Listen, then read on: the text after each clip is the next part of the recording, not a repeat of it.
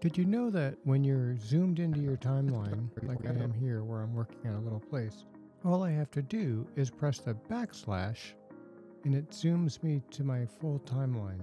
Press it again, it takes me back to exactly where I was. Doing the same thing on any clip does that.